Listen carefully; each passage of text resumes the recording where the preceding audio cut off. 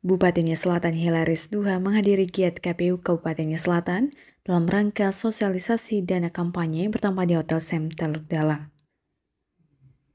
Arahan Bupati Hilaris II kepada peserta giat mengharapkan seluruh komisioner KPU Kabupaten Selatan menjalin koordinasi dan komunikasi yang baik, terlebih kepada stakeholder penyelenggara pemilu agar timbal balik terjadi keharmonisan dalam melakukan tugas-tugas dan tanggung jawab dan menjaga amanah yang telah diterima dengan sesungguh-sungguhnya. Turut hadir pada kegiatan sosialisasi ini Wakil Ketua DPRD Kabupaten Selatan Fatul Sarumaha, Kapolres Nia Selatan AKBP Bone Wayu Wicaksono, Kajarannya Selatan Rabani Halawa, Kasatpol PP dan Linmas Dionisius Wau dan seluruh ketua parpol yang ada di wilayah Kabupaten Selatan.